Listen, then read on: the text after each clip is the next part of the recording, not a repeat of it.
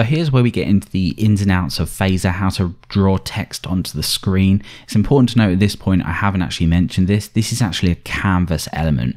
Now I'm going to go ahead and open up my console anyway, because I want to see if uh, there are any errors along the way, any warnings along the way. Uh, but if you'll notice over on here, you'll actually just see a canvas. This is pretty much how Phaser works. What it's doing is doing all the work behind the scenes, using all the helper methods that it has available, and it's drawing this onto an HTML5 canvas. So if we head over to the console again, just keep this open while we are developing. Let's get this text uh, up on the top of the screen. Now the first thing that I want to do is over in states or pretty much wherever you want to be honest, I'm going to create a globals folder. This is going to hold all of the kind of global information about our game. And by that I mean the score, how many lives we have and the points that we've accumulated along the way. So I'm going to go ahead and create an index.js file in here and I'm going to export an object from this file. If you're fairly new to ES6, this is exactly what we're working with here. You might want to check out the ES6 course that we have if you're struggling uh, with any of the syntax inside of here. So just a pre-warning. Okay, so we know that the score by default is going to be zero. We know that the level by default is going to be one, and we know that the lives by default is going to be three. And of course, we can adjust this uh, any time that we need. So now that we have our globals, how do we add these to our game? Well, inside of our boot file just here, what we could do is add a create method, which is part of Phaser, and then we could initialize our global variables. This is this tends to be what I do uh, if I'm building out a little game. So I'm going to go ahead and call a method called init global variables. We're going to go ahead and create this method in here. And notice that we're using a kind of class syntax here. All this is is syntax sugar around JavaScript's uh, object oriented nature. So all we're doing is basically creating an object here uh, using this kind of syntax, and that is possible due to Webpack. So how do we initialize our global variables? Well, we're going to go ahead and refer to this game, which we're going to be doing a lot throughout the course, and we're going to set a global property to the globals that we've just created and imported from the file that we've just created. So the first thing that I want to do is go ahead and import globals from, we want to go into the globals directory and we want to go ahead and pluck that out from index. But what we want to do is clone the globals so they're fresh every single time because we're going to be modifying these and we're kind of pulling them in from a default area. We want to go ahead and clone these globals. So for example, when we finish the game, we want to get a fresh version of them. Now to achieve this, I use Lodash and I use the clone method. So if we just go ahead and head over to here, uh, you'll notice that this will go ahead and create a shallow clone of the value that you give it. Uh, of course, we only have a single level to the object that we're exporting, but you can also use clone deep as well. So let's go ahead and install Lodash. What we're going to have to do is just come out of the uh, Webpack watching, and we're going to go ahead and do an npm install on Lodash, and we're going to save that to our development dependencies or our normal dependencies. Okay, so now that's done, let's go ahead and do an npm run dev once again. Let's come over to our text editor and what we're going to do is use clone once we've closed this off to wrap that in globals. Now, if we go ahead and import clone from Lodash at the top, so let's go ahead and pull this in. That's going to go ahead and clone that object, set it to our globals, our game.global uh, property, and we're pretty much done. So the reason that we've done this is because once we've booted the game up, over in the actual game itself, which we have nothing in at the moment, once this is created, we can go ahead and draw that text to the top. So that's pretty much what we're going to do now. Now, just to give you an idea of this, if I do a console log on this game global, like so, you'll notice, uh, just to make sure that we spell that correctly, global, if I come over and give this a refresh, we see our globals. So we can increment these, we can decrement them. Of course, we'll be decrementing the lives, incrementing the level, and incrementing the score. And that will keep up to date as we redraw to the page.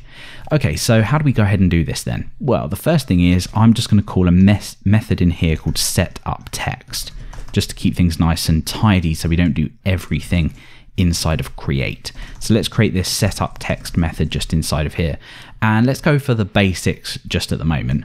Let's go ahead and say this game add text and inside of here we give an x offset a y offset the text that we want any properties associated with that text so for example the font size the fill color and all that kind of stuff how we align it on the page and then we go ahead and position it so let's go ahead and just say 1 1 and let's say hello, just to kind of get a feel for this.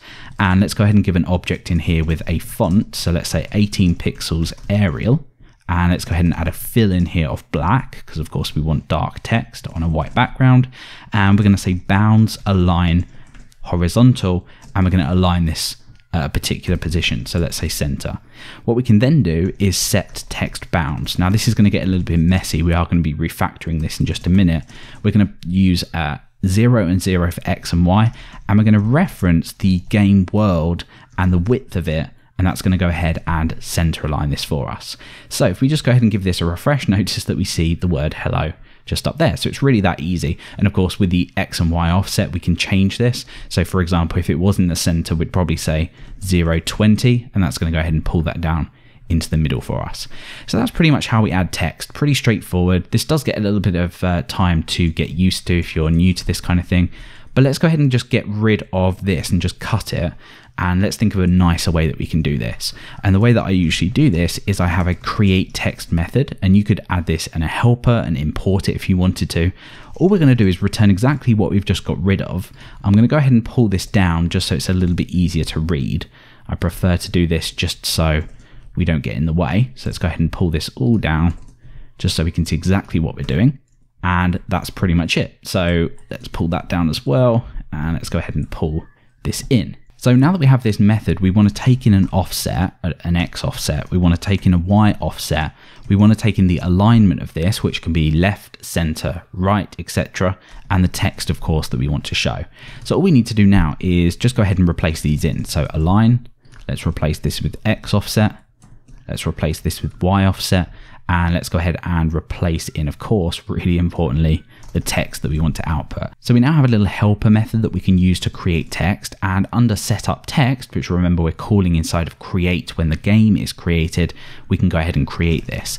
So for example, I could say this create text 2020 and I could say left. So this is going to be the global game score. And inside of here, I could say score is X, for example. So let's come over and you can see that we have our score nicely placed over there for us. Now, of course, we want to pull from the game globals. So we're going to go ahead and say this game global score like so. And that's going to go ahead and give us that value that we imported by default.